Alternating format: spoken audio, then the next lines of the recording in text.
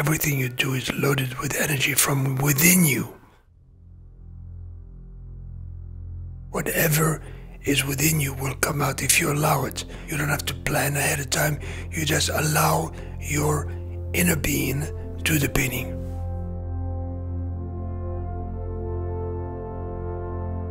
You're always got that energy inside of you.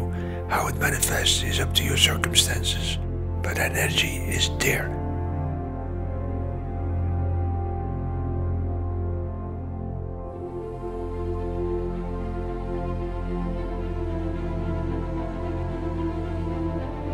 Creative energy comes through when you're tired, when you're happy, when you're sad. It does not matter. Because what you're going to paint is not your sadness or your happiness. You're going to tap on into the voltage of that energy.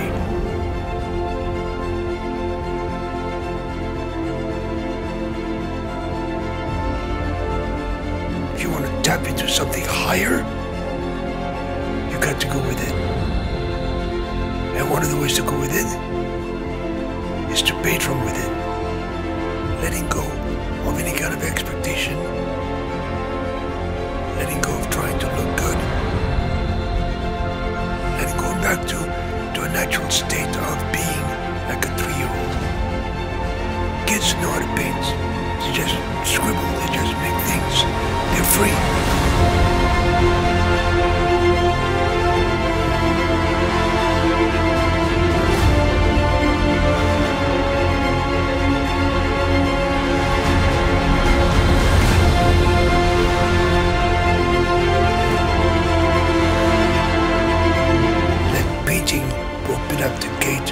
To a much deeper meaning in what your life is really about.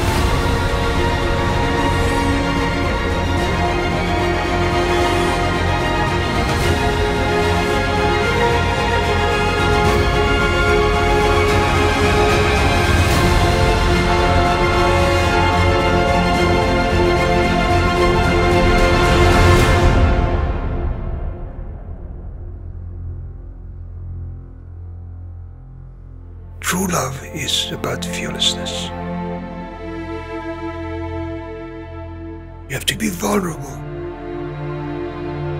to be taking leaps, to jump off the cliff without a parachute. The worst thing a man can do is to be afraid.